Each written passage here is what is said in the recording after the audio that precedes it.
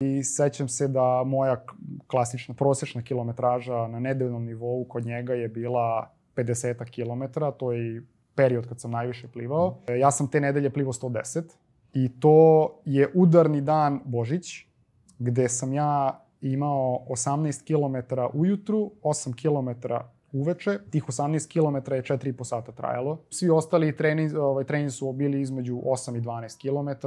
I taj challenge week mi je bio jedan od najizazovnijih i ne zato što je to nešto mnogo te, teško fizički, mislim jeste, ali prosto boraviti u bazenu toliko dugo i toliko dugo plivati je iz dana u dan, ne jedan dan, nego od ponedeljka do nedelje, toliko puno plivati je bio stvarno veliki, veliki izazov za mene.